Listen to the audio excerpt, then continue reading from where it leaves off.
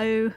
Welcome to the Field of Streams, where I, your host, Janeen McCrae, bring you the tiny thoughts that stream from my brain and present them to you as though they're a scoop of fine caviar served on a cracker made from flour found in an ancient Egyptian tomb, which may actually be human ashes, but they don't think so, and artfully presented in a way that's designed to stimulate your senses to within an inch of improbability, which you won't realize because it's highly improbable.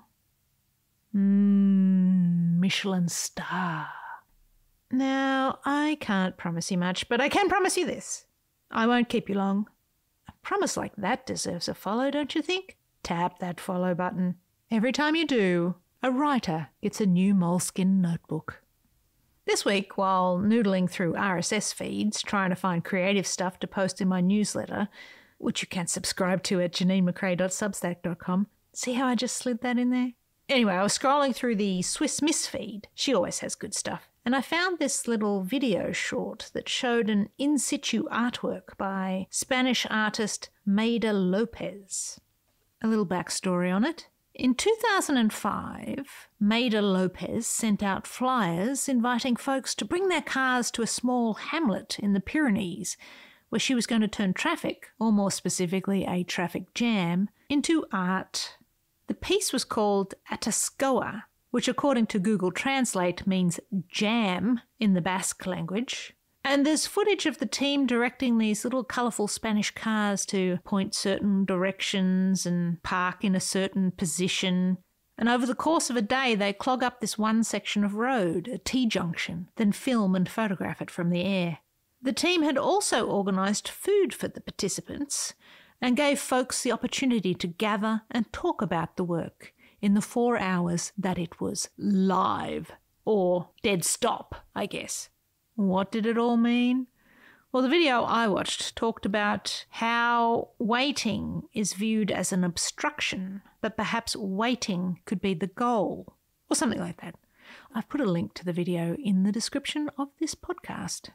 So, this idea of waiting is what inspired me, and I took it in a slightly different direction than the uh, traffic jam. It got me thinking about writing and writer's block.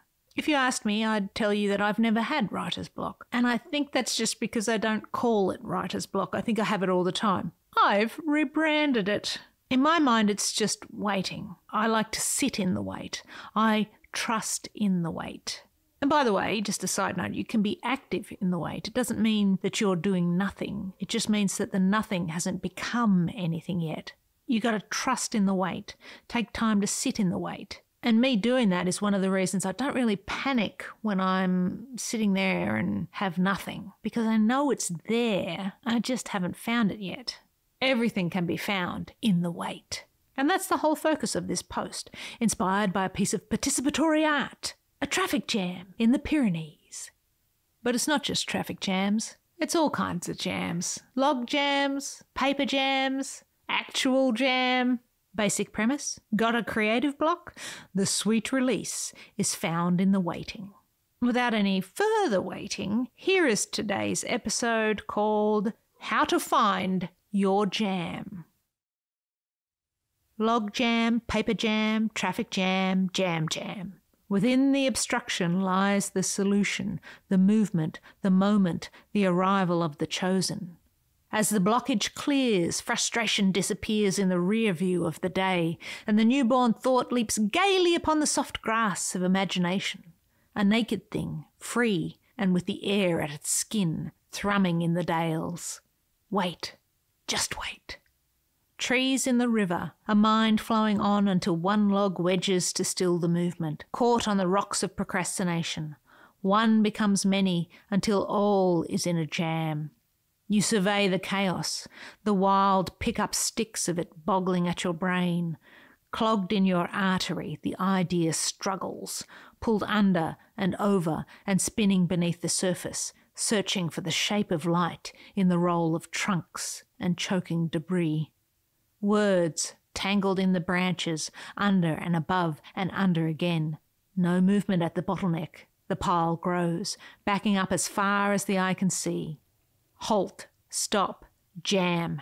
the head scratching puzzle of the how of it, the moving of one to release the lot and shuttle this dream downstream. The lone log controls the blockage, bank to bank and top to bottom, as thought is snarled in its body. Deep below, the energy of your water stirs. Wait. Impossible anchor, wedged and woody and wet, just wait.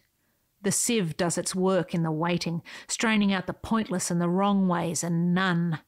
With a tired creak and a woody groan, there is a subtle shift, and the log releases a sigh to surge and giggle. The dam breaks, and all is energy. Downstream, an idea with its sleeves rolled up arrives triumphant, spinning its spiked boots upon the giant redwood stem, driven, ready to build a dream. Check tray. Are you offline? The jam is in the works. Paper scrunches up its face in the guts of your machinery, refusing to make eye contact with your thoughts. The frustration builds in the heat of your brow as message after message refuses to go through. Offline, offline, thick and overloaded, sucking into the jam of your mind printer, the work will not progress. Percentages stuck and tone not right. Yet, it sucks in its gut and jams itself up.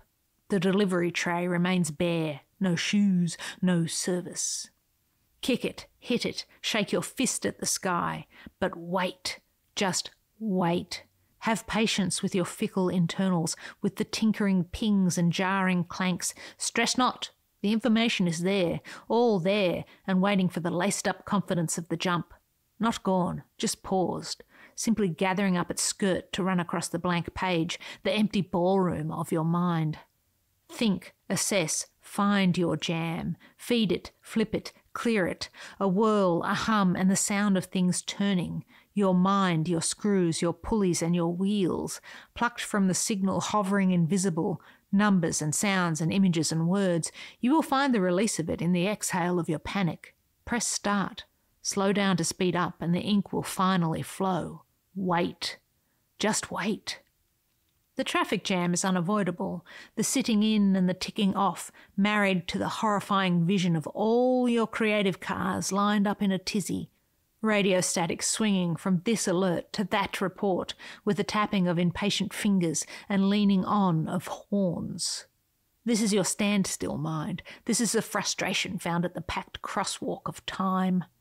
Snarled and tangled and agitated with the lack of progress toward your goal, the arrival of the delivery notification. Searing heat and baking dashboard, you attempt to add more lanes, to search for a drive around, to map your way out of this. All colours, all makes, all models of halt for every year imaginable. You shake your fist out your window at yourself. But wait, just wait. This shall pass. You shall pass your idea like a stone through the pain of this jam into the relief of the flow. Your accident will clear and the broken down car in your broken down lane will find its toe. The truth of this traffic is about to be born. The reason for its being is found at the standstill. Sit in it. Wait.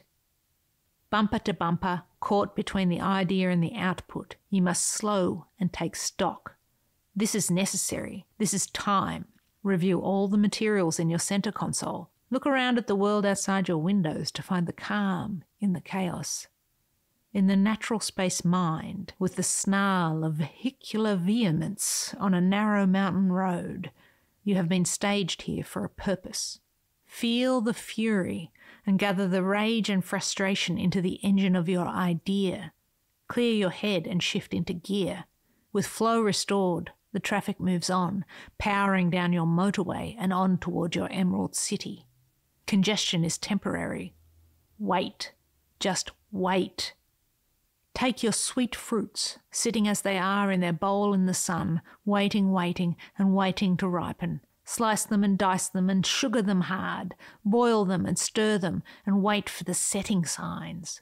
Warm jars for hot jams. Now twist the lids and urge them to the bath. Wait for the pop, for the pop is the patience. The pop is the sound of your reward, waiting for its future to set. What once was solid and whole, with stone and seed and skin of armour, is now sweet and bold, stored in the pantry of your brain and ready to release the rich reward of flavours, ready to spread upon all the toasts of your awakening. But first, you must wait. You must nurture and grow your fruits. Wait, just wait. The season of your canning has just begun. We live in the notes that hover about our heads like fate filled fairies. We sit in the song cloud as it floats in our sky, all reclining and crossing legs and drinking tea and noodling on instruments until the notes land upon our shoulders or occupy our fingers or attack our hearts with whispering voices. Nothing. We are doing nothing because there is nothing. Nothing but the waiting for. Bursting into the room, the nothing becomes storming into the session with sudden urgency for its magical release. The nothing becomes something in the waiting time, the moments before, the shuffling around and experimenting with until it hits. You cannot panic at this moment, the moment before. You cannot force the notes from the air to land upon your ambition. You must wait. You must relax. You must have the looseness in your shoulders and the melt sauntering and shuffling in the background of your mind. You must trust in the nothing. Just wait, just wait, and there it is. It is worth the wait. This is your jam. The obstruction to the flow is the percolating of the moment.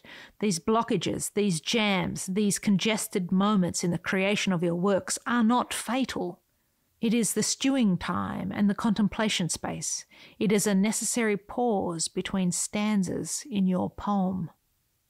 You are jam packed with words, with magic, with patience. Work to trust the process, and the jams will clear. Your idea will come. Just wait. Just you wait. And there you have it, today's episode. I hope you come back for more. These little missives are designed to inspire creative folk to get out and make something of their own. If you enjoyed this episode, please follow the podcast so that you never miss one, and sign up to read my writing at janeenmccrae.substack.com. For now, I'll leave you with this. Love what you love, and I'll see you out there making stuff.